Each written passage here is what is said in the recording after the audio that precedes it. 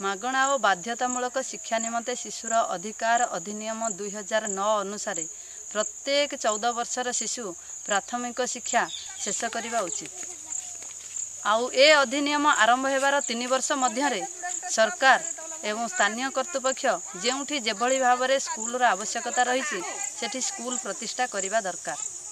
କିନ୍ତୁ ସରକାର ଏ ଦାୟିତ୍ୱକୁ ଭୁଲି ଯାଇଛନ୍ତି ଯାହାଦ୍ୱାରା କି ଆଜି ସମ୍ବଲପୁର ଜିଲ୍ଲା ରେଢ଼ାଖୋଲ ବ୍ଲକ ଅନ୍ତର୍ଗତ ଗଡ଼ାଖୋଲ ଗାଁର ସୁନିତା ଦେହୁରୀଙ୍କ ସମେତ ତିରିଶଟି ଶିଶୁ ପ୍ରାଥମିକ ଶିକ୍ଷା ଶେଷ ନ କରିପାରି ଗାଁରେ ରହିଛନ୍ତି ଏବଂ ଗୁଣାତ୍ମକ ଶିକ୍ଷା ମଧ୍ୟ ପାଇପାରୁନାହାନ୍ତି। ଆଜି କିବାରେ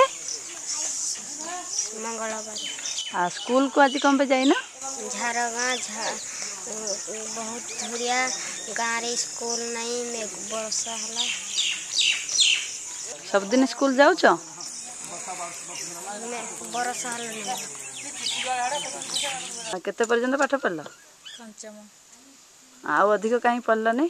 ଗାଁରେ ସ୍କୁଲ ନାହିଁ କୁଆଡ଼େ ଯିବୁ? କ'ଣ ତମ ନାଁ?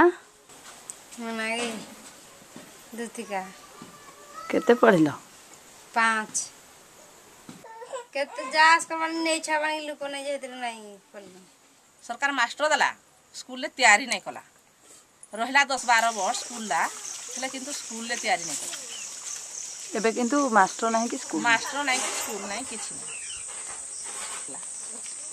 ତା ଲାଗି ଗୋଟେ ମାଇଲ ବାଟ ଯା ଆସ କରିକି ଡେଲି ଯାଉଛନ୍ ପାହାଡ଼ରେ ଚଢ଼ିକିରି କିଆ ଚପଟ ବାଟ ଯେ ଛୁଆମାନେ ଯିବେ ରାସ୍ତାରେ କିନ୍ଦ୍ରିକିରି ଭାଉରେ ଯାଉଛନ୍ ଆଜି ସ୍କୁଲକୁ ପହଞ୍ଚୁ କ'ଣ କରାଗଲେ ତମେ ସବୁବେଳେ ସ୍କୁଲ ଯାଇ ପାଠ ପଢ଼ିପାରିବ ଗାଁରେ ସ୍କୁଲ କଲେ ସବୁ ଛୁଆ କେସି ଛୁଆ ନାଇଁ ଯିବାକୁ ଯେ ଅଧା ଛୁଆ ଯିବେ ଆହୁରି ଆମେ ଗଲା ପଢ଼ିପାରମୁ ଆମେ ଗଲା ବହୁତ ପଢ଼ିପାରମୁ।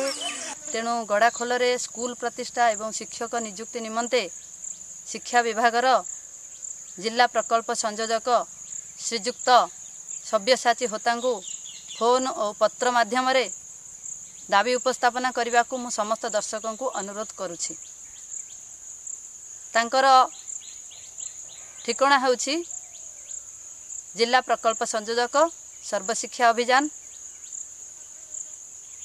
ଜିଲ୍ଲା କାର୍ଯ୍ୟାଳୟ ପ୍ରକୋଷ୍ଠ ସମ୍ବଲପୁର ଓଡ଼ିଶା ତାଙ୍କର ଫୋନ୍ ନମ୍ବର ହେଉଛି nine four three seven one three six nine two five ମୁଁ ମମତା ପାତ୍ର ସମ୍ବଲପୁର ଓଡ଼ିଶାରୁ ଇଣ୍ଡିଆ ଅନହଡ଼ ପାଇଁ।